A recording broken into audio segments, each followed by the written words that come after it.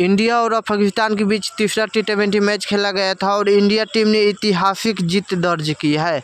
तो आप लोग भी जानना चाहते हैं पूरी खबर तो हमारे चैनल को लाइक कीजिए और सब्सक्राइब करना मत भूलिएगा। हाँ आपको बता दें कि कप्तान रोहित शर्मा कहर बनकर बरस गए अफ़गानिस्तान के बॉलरों के खिलाफ।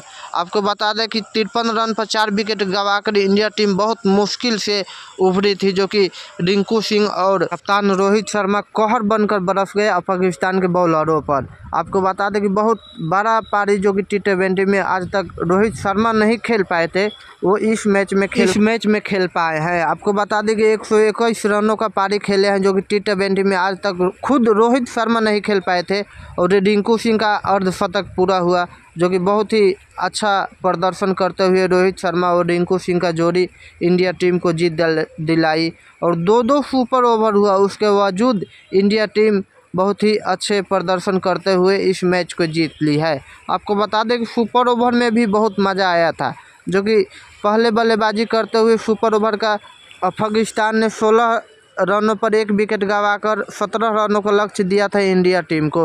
और पहले बल्लेबाजी करते हुए आए आए इंडिया टीम से कप्तान रोहित शर्मा और यशस्वी जायसवाल, जो कि बहुत ही विस्फोटक बल्लेबाजी करके वापस लौटे थे। कप्तान रोहित शर्मा और बहुत ही अच्छे बल्लेबाजी करते हुए इस मैच को भी डरा कर दिया गया और दूसरा सुपर ओवर भी खेला गया।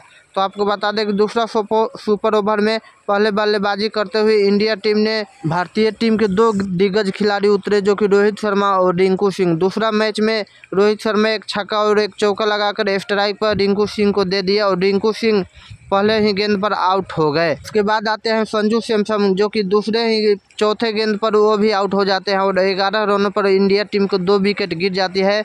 उसके बाद आती है अफ़गानिस्तान की बैटिंग। उसके बाद आते हैं बॉलर में इंडिया टीम लेकर रवि बिश्नोई का। और रवि बिश्नोई ने एक ही ओवर में दो विकेट छटकाकर एक ऐतिहासिक दर्ज की है।